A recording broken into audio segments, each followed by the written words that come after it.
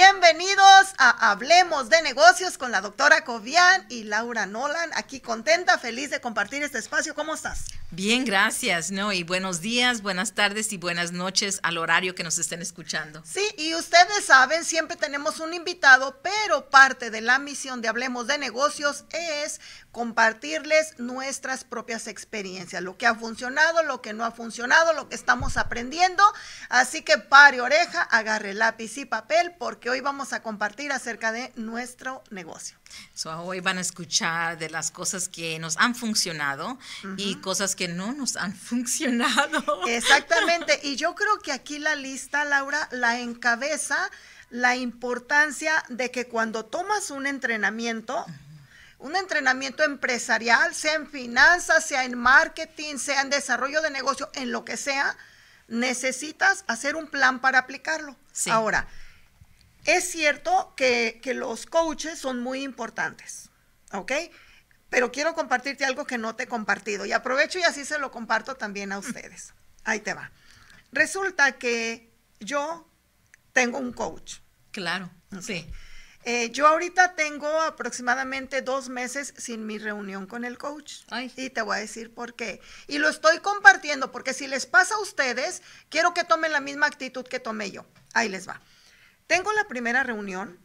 Entonces hablamos de, de que obviamente mi coach conoce mi negocio, lo que he aprendido y le presento la visión de lo que quiero hacer, a dónde quiero llegar. O sea, estoy aquí con estas herramientas, con este aprendizaje y quiero llegar hasta acá. Claro, claro. Y wow, se emociona y me dice, yay, yay, yay, yay.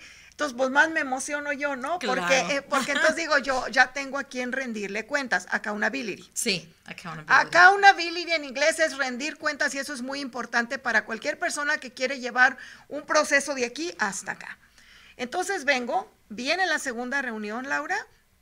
Estoy toda emocionada, ya tengo nuevas noticias, le comparto lo nuevo, lo que ha avanzado y ya se le olvidó lo que hablamos la vez pasada. Aparentemente no hay notas. Entonces, aquí está el aprendizaje. Yo necesito este coach para rendirle cuentas.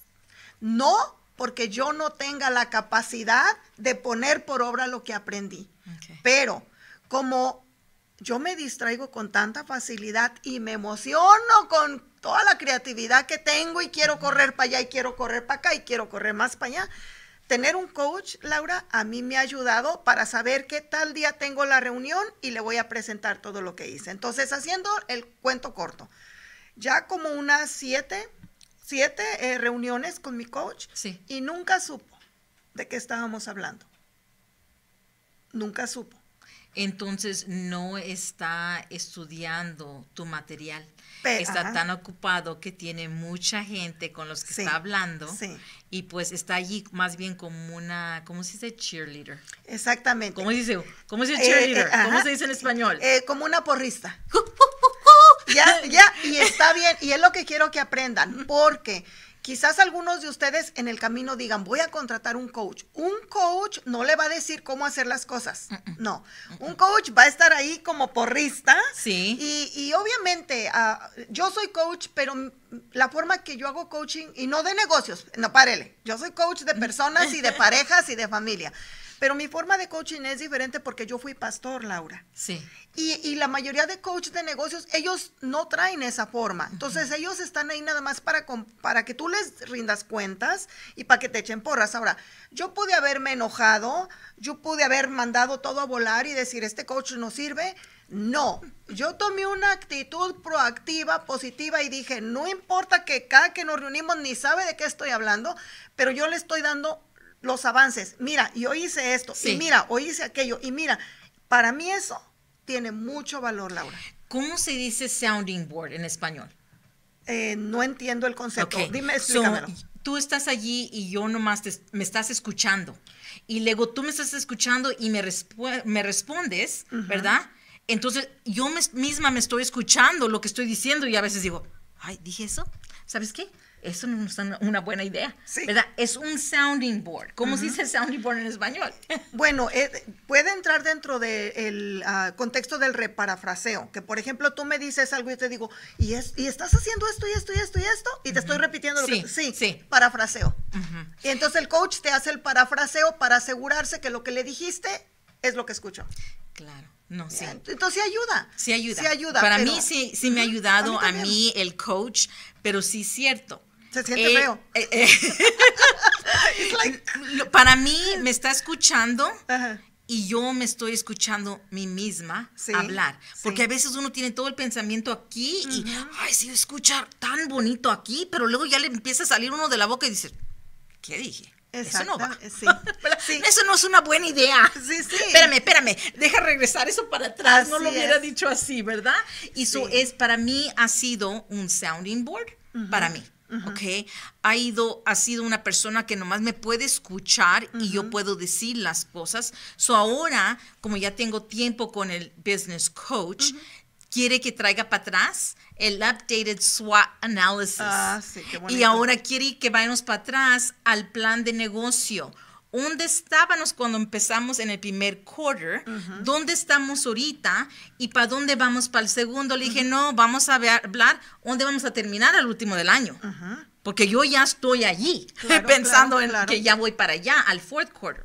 So, a mí me ha, me ha ayudado, pero sí, Pero, realmente. es- pero eso es lo bonito, o sea, lo que estás diciendo, el coach no te va a decir qué hacer. Fíjate bien, Yeah. le está diciendo dame hasta el segundo, tercero, ella dice no, hasta el final. ¿Por qué? Porque soy yo como dueña de mi negocio cuando contrato un coach la que defino cuáles son las metas, cuáles son hacia lo- el alcance que quiero lograr. Ahora, no pongan falsas expectativas en un coach. El trabajo le corresponde a usted y a nadie más que a usted. El coach, lo voy a repetir porque vamos a cambiar de tema. Número uno, está ahí para que usted le rinda cuentas. Número dos, está ahí para que le eche porras si usted sienta, ¡uh! Bonito, Sí. voy por donde es. Pero número tres, está ahí para reparafrasear todo como Laura lo, lo, es- lo compartió y usted se escucha y diga, ah, no, no, eso no es lo que quise decir, no es por ahí. Entonces, ¿recomendado un coach de negocios? Sí, nomás que le quede claro eso. Segundo punto, el SWOT análisis. El SWOT análisis en español se llama análisis FODA. Foda. Son las fortalezas, Foda. Las oportunidades, las debilidades y las amenazas. Es lo mismo, Sí, pero ahora es. En- weaknesses, opportunities y threats. Sí, analysis. cuando, cuando yo me topé con eso, Laura, yo no sabía nada de, ni del FODA ni del SWOT, que es lo mismo, ¿verdad? nada más en diferente. Y cuando yo me pongo a escribir, ok, mis fortalezas, a mí, cuando veo, o sea, ¿cómo se los puedo explicar? Yo no había visto mis fortalezas, Laura. O sea, yo como negocio, fíjate bien, te lo voy a compartir. Mis servicios son 100% personalizados. Sí. O sea, yo no puedo, pueden venirme aquí cuatro personas con hígado graso las cuatro, pero cada una va a tener un programa de salud diferente porque cada persona tiene alguna otra situación en su cuerpo, ¿no? Entonces, esa es una de mis mayores fortalezas, el servicio personalizado. ¿Cuál es una de las tuyas? Como, de mis como- como empresa. um, yo quiero decir que realmente no nomás ponemos cualquier persona a trabajar, realmente nos focamos que sea la mejor persona para el cliente, ¿verdad? Eso es uno de mis strengths, que lo hacemos muy bien. ¿ok? Que estamos como a 95 porcentaje conversaci- con- con- conversion. Sí. Donde si te ponemos a alguien y las Lo quieres contratan. contratar, los contratan 95% del tiempo. Imagínense qué gran fortaleza. Ahora, otra de las fortalezas que yo tengo es, eh, en inglés se llama comprehensive analysis, en español sería un análisis de salud completo que abarca todo. No hay uno de sangre que, ni, ni aunque junte todos los que hay de sangre, abarcan todo lo que el análisis de salud que yo hago. Entonces, en una sola sentada. O sea, en una sola visita que viene la persona. Y yo dije, wow, qué importante es hacer este tipo de ejercicios, ¿no? De, de No, tus sí, fortalezas sí. y todo, porque están esas cosas y no las ves hasta que no las pones en papel. Sí. Y tomar entrenamientos, buscarse un coach es precisamente trabajar eso. Ahora, están las fortalezas, luego las oportunidades. En oportunidades, ¿qué te encontraste tú en tu negocio? que hay mucha oportunidad para todavía crecer en mi negocio. Mucha. Yo realmente pienso que ahorita nosotros vamos a empezar a buscar talento, no nomás en nuestro país, pero va a ser en el, en el mundo. Amén. So yo ya me estoy poniendo, preparando para competir mundialmente, Mundialmente. porque gente ya no está teniendo hijos, ¿verdad? Muchos ya no se están teniendo hijos, so vamos a tener un tiempo donde ya no vamos a tener la gente para trabajar. Así es. Por eso está entrando el AI, que va a reemplazar. Inteligencia artificial. Va, a ent- va a reemplazar Ya mucha de, reemplazando, sí, reemplazando mucha de la gente y muchos de los trabajos. Pero todo el tiempo va a haber trabajos. Porque hay cosas que no puede hacer el AI. Exacto. ¿Ok? So para mí es una gran oportunidad y he tomado esta oportunidad para ir a México y encontrar gente que me pueda asociar en México, porque yo digo, si voy a traer gente y competir mundialmente, quiero empezar con México, no quiero empezar con Japón, con otros países, prefiero empezar en mi propio país Claro, donde nací, claro. ¿verdad? qué mejor, sí. So, eh, para mí esa es una gran oportunidad para mí. Y es que lo importante de compartir es que cuando usted mira este papel y tiene que llenar ahí cuáles son sus oportunidades, usted empieza a echar a andar el cerebro ya enfocado hacia su negocio. Yo empecé a mirar la oportunidad que tengo de trabajar en colaboración con las clínicas de salud, porque las clínicas de salud ofrecen cuidado primario, pero difícilmente le van a ofrecer nutrición, difícilmente le van a ofrecer lo que es la desintoxicación natural. eh, mucho menos eh, tienen la tecnología, y fíjese qué tremendo lo que estoy diciendo, pero no tienen la tecnología que pueda ver debilidades en los órganos, glándulas y sistemas y deficiencias. Recordamos, recordemos, perdón, que la, el sistema de salud está para tratar enfermedades. O sea que si el cuerpo empezó a sentir síntomas, ellos lo único que van a hacer es recetarle un medicamento para calmar este síntoma, para calmar el otro síntoma y para calmar el otro síntoma. Y esos tres medicamentos le van a dar un montón de efectos secundarios y le van a intoxicar el cuerpo. Entonces, qué oportunidad para mí poder colaborar con uno de ellos, con una clínica de salud, Claro. para poder identificar la enfermedad antes que llegue. Entonces, eso es lo que se logra con el SWOT análisis en inglés o el FODA. Pero vamos a ir a comerciales, porque ya se nos llegó el tiempo de comerciales. todo rápido. Y regresando les hablaremos de los otros dos que son las debilidades y las amenazas. Así que quédese ahí porque ya regresamos. Hello, this is Dr. Kovian. I am a naturopath or a doctor in natural medicine, a holistic practitioner, and I specialize in uncovering the root causes of your symptoms of health problems. How do I do that? Well, I use the electromagnetic resonance technology, same thing that CAT scan and MRI uses in the hospital. And once I know what's the root cause, through natural solutions such as teas, um, soups, smoothies. I'll give you the recipes for you to empower your own body's healing mechanisms so that you will heal or prevent any future health problems. You can reach me out here in Las Vegas. My number is 702 365 8000 or you can look for Balance, Balance, Salud y Vida. I have a website, I have social media, but 702-365-8000 is the best way to reach out to me. I will help you better your health, prevent any illness, increase your energy levels, reduce inflammation, pain. You will feel amazing. It will be a pleasure to serve you.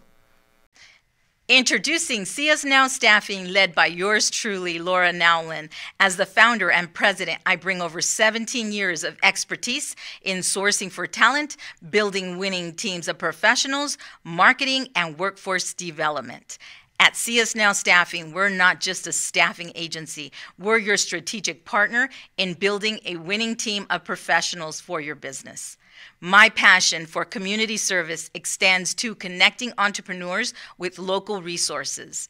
Recognized by the Small Business Administration as the 2022 Nevada Family Owned Business of the Year, we're not just changing the workforce landscape, we're defining it. Y ya estamos de regreso aquí en su programa Hablemos de negocios con la doctora Cobian y Laura Nolan, hablando de nuestro FODA o SWOT análisis en inglés. Y ya les compartimos eh, lo que son nuestras algunas de nuestras fortalezas y oportunidades, pero también están las debilidades. Y eso es importantísimo. ¿Sabe por qué? Porque las fortalezas nos van a empoderar como negocios. Vamos a sacarle ventaja. Las oportunidades nos van a dar la dirección hacia dónde está el mercado, hacia dónde están las posibles alianzas estratégicas. Pero las debilidades nos permiten hacer un plan de acción para trabajarlas. Comparte. Para mí, mi, mi fuerza es la gente que contrato. Ajá. ¿Ok? Mi debilidad es la gente que contrato. A ver. ¿Qué, qué, trato de decir con eso? A ver, por favor. Nunca puedo yo dar un 100% garantiza que alguien va a funcionar bien porque estoy trabajando con la persona humana. Exacto. Y so, todo el tiempo voy a tener una debilidad con una persona humana. So, aunque sea también mi fuerza, es también mi debilidad. Sí, me hago explicar. Sí, eh, bueno, espero que, a ustedes les caiga el 20. sí, este, yo creo que las debilidades eh, es importante verlas y todo esto a la luz de lo que estudiamos. Sí. Cada curso que usted tome, cada emprendimiento que usted eh, aprenda en, cualquier contexto, el, el, SWOT análisis o el FODA, aplíquelo, aplíquelo. Porque, por ejemplo, en las debilidades yo tengo una muy grande. No tengo un equipo. Porque mi campo no es fácil encontrar a alguien en el campo de la medicina natural. Primeramente porque considero yo, por mi experiencia, que es más un llamado de servicio que una profesión. Es una profesión porque me llevó 10 años estudiar la carrera, porque constantemente estoy estudiando diferentes eh, cosas para mantenerme al día, por eso es una profesión. Pero en el momento que la persona llega a mi oficina, yo necesito conectarme. Sí, con ellos. Yo necesito conectarme con su necesidad para poder ofrecer la solución correcta. Mucha gente viene con problema físico, pero la raíz es emocional. Entonces yo tengo que tener la empatía de conectarme con esa raíz emocional y ayudarle a lidiar con lo físico. No tan fácil encuentro quien trabaje así conmigo. Entonces, sí, eh, me he topado con mucha gente que quiere trabajar conmigo, pero porque ven la, la, oportunidad de hacer dinero. Y sí, es una gran oportunidad cuando lo haces como una profesión, pero no cuando lo haces como un ministerio, como yo. Ahora, ¿cuál es mi debilidad? Precisamente eso, pero dicho en otras palabras. Debilidad entre comillas, que yo ando tras los resultados y los resultados no me pagan los biles. No. ¿Me explico? Sí. Entonces es ahí donde usted que me está escuchando, si al igual que yo, su negocio es su pasión, la debilidad que nos corresponde trabajar es encontrar ese balance para poder pagar los biles para poder pagar empleados, para poder pagar las licencias de la ciudad, la renta, el internet, los programas que utilizamos y todos esos gastos que usted ya conoce. Eh, balancearlo. Porque cuando nos vamos solamente por la pasión, y, pues yo, tú sabes, yo como pastor, 21 años de pastor, ¿qué es lo único que aprendí? A servir, a dar, a cuidar. Y ahora mi debilidad, la sigo trabajando, es esa, encontrar el balance de, de sí, servir, eh, continuar engrandeciendo mi fortaleza, que es el servicio personalizado, pero ser consciente de que necesito pagar mis cosas. Claro. Si no, ¿cómo, ¿cómo vas a poder seguir con tu misión? Sí, y vamos a hablar ahora de las amenazas. Ah, ¿Qué hallaste, ¿Qué hallaste tú de amenazas en tu, en tu, en tu FODA o en tu... Pues bastante, pero para mí todavía es la gente. ¿Verdad?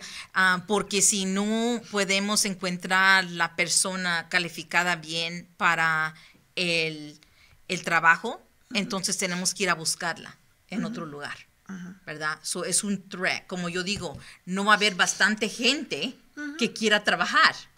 Ahorita ya estamos sufriendo eso. Después de COVID, hay mucha gente que no quiere trabajar o que dice, quiero que me paguen más, pero realmente no tienen el, la educación, la experiencia para el pago que ellos quieren. Eso es un gran threat. Ahorita en las escuelas, el producto que están sacando adelante no es realmente una persona que uno quiere poner a trabajar. Muchos de los jóvenes de hoy piensan que van a sobrevivir y hacer todo su dinero con su celular. Mm. Y están estudiando, el estudio que están estudiando no va con luego la carrera que están entrando. ¿Verdad? So vamos diciendo, quieren estudiar años para ser músicos, pero luego tratan de ser un manejador de una empresa. Sí. No va. Estudiaste qué y ahora no pudiste hacer nada con ese estudio. So, eso es lo que estoy viendo. Tuve la oportunidad cuando estaba en México, para las dos semanas, que pude sentarme a platicar con un director de una escuela. Y le dije, si ahorita el producto de México, que viene siendo el estudiante, para mí es el producto, ¿verdad? Todavía está bien calificado. Ahorita yo tengo oportunidades porque Estados Unidos ahorita no está sacando la gente preparada para poder hacer trabajos. dije, eso me gustaría lanzar un programa de visa con tu escuela. Uh le dije, ¿y cómo vamos a empezar? Pues vamos a empezar primero con que quiero que me des tu mejor estudiante y lo voy a contratar como intern, ¿verdad? Y yo le voy a pagar su sueldo para que sí, él pueda pagar su estudio. Mira. Okay, hicimos ese trato. Estoy bien contenta que lo vamos a lanzar, ¿verdad? Durante de unas cuantas semanas va a salir eso, donde voy a poder contratar, aunque sea empezar con un estudiante. ¿Vas con algún ah, tipo de industria específica? Sí, eh, le pregunté que quería alguien que estuviera estudiando HR, negocios. Eh, recursos humanos. Recursos, recursos, humanos. Ajá, para yo poder enseñarle primero el EOS System, ¿verdad? Que es el EOS System. Me gustaría enseñarles primero eso y luego pues tomarlos como estudiante, como ahorita yo ya tengo experiencia contratando gente a los 16 años y ahorita tengo mi muchacha que tiene 22 y corre todo mi, departamento de payroll, ¿verdad? Que la contraté a los 16 años porque la conocí desde que tenía 10, ¿verdad? Y eso me encanta poder darle a los jóvenes, ¿verdad? Y yo noté hace, hace más de 10 años que yo estaba mirando que la juventud que estaba saliendo de estudiar, dije, algo está pasando en las escuelas porque no estamos agarrando el mismo producto de la persona saliendo estudiada que realmente quiere trabajar. Eso es un gran threat para mí. Claro que sí. Y cuando ella dijo IOS, que es, es la letra E punto o punto S punto, es el sistema que ella utiliza en su negocio. Ah, busque en los videos donde está la entrevista con Laura Nolan y ahí ella habla a detalle cómo ese sistema le puede ayudar en su negocio. Y bueno, en el caso mío, eh, y parece un juego de palabras lo que estamos haciendo, porque lo que es una gran fortaleza para mí también es mi sí, amenaza. Sí. Y ahí les va. Otra de las más grandes fortalezas que yo tengo en mi negocio es que la gente se sana se sanan. Claro. Y pues a mi gente los, contratan. Se sanan. E, es una cosa que la gente transforma su vida, pero se convierte en una amenaza. ¿Por qué? Porque el sistema médico no quiere que, y suena feo, pero acuérdese, la industria de la farmacia, como es que da dinero, las aseguranzas, todo eso. Entonces, eh, yo siempre he hablado bien de los doctores primarios, de los especialistas en medicina, porque ellos hacen para lo que estudiaron. Ellos estudiaron para diagnosticar enfermedades y tratar síntomas. Nada más. medicina. Y lo hacen bien, tanto que usted que me escucha y yo, cuando sentimos que vamos a colgar los tenis, pegamos carrera al hospital, ¿sí o no? Entonces, bendición para ellos. Pero eh, la medicina natural es diferente. O sea, yo me enfoco en encontrar la raíz del problema, trato la raíz del problema y ya se arregla todo y se sana. Entonces, ¿cómo eso es una amenaza para mí? yo no puedo utilizar aseguranza para cubrir mis servicios. No. No. Yo no puedo ni siquiera anunciarme como se anuncian ellos. Es más, nosotros estamos restringidos a llamar a un cliente paciente. Nosotros no, legalmente no podemos decirle paciente. Mm. Cada que viene una persona a mi oficina, entre todas las formas que llena, hay una forma que se llama Nine Amendment Right, que es la novena enmienda de la Constitución de Estados Unidos, que es la que a mí me ampara legalmente para yo practicar la medicina aquí en Estados Unidos, medicina natural. Entonces, tengo que explicarle a la gente, mira, eh, yo todo lo mío es alternativo, es natural, vamos a trabajar debilidades, deficiencias, te voy a recomendar las terapias alternativas que son óptimas para ti, todo eso tengo que... Entonces, eso, yo no puedo entrar como los demás, aunque la gente se me esté sanando. O sea, para mi negocio es una amenaza que el sistema médico no, este, no, em, pues no nos respalda, que las aseguranzas tampoco, y mucho menos las farmacias, ¿no? Que están llenas más de medicamento que de suplementos. Exactamente.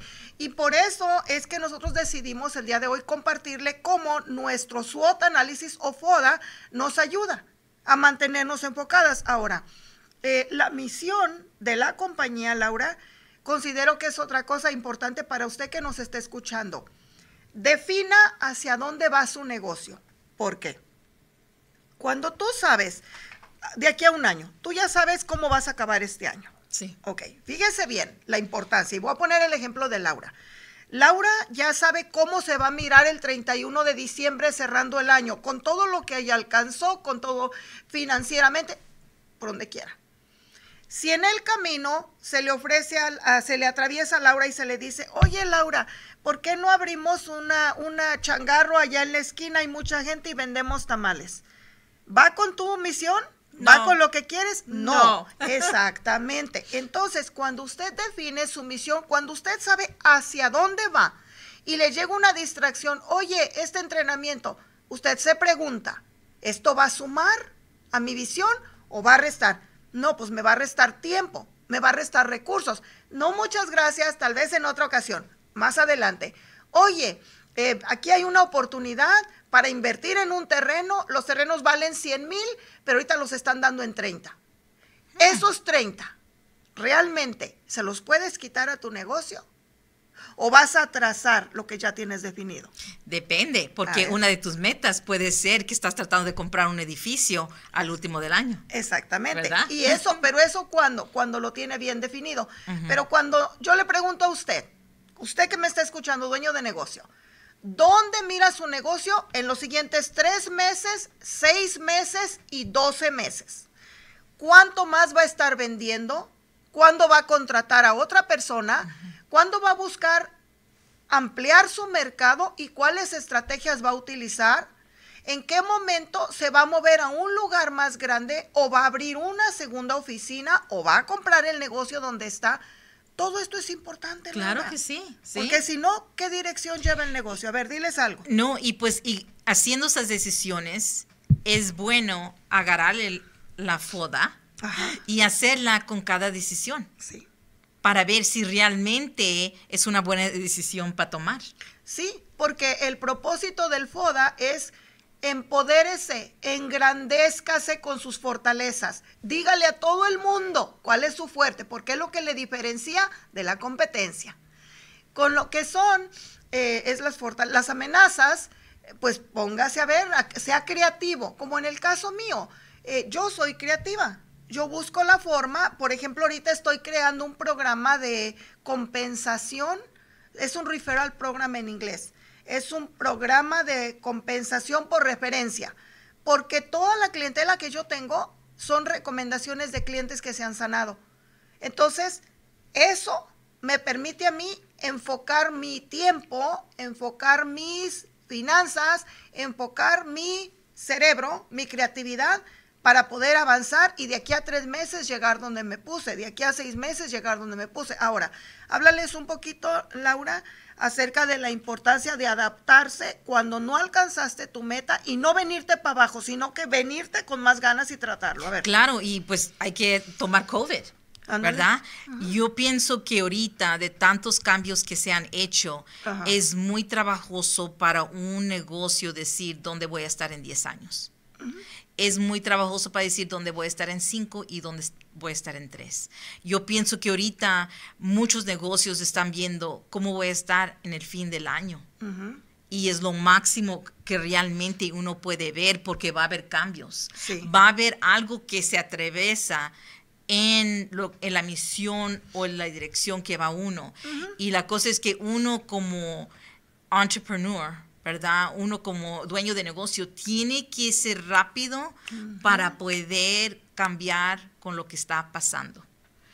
Los negocios que pudieron quedarse todavía abiertos es que pudieron adaptar rápido y moverse. Los que cerraron es que no sabían cómo cambiar bien rápido.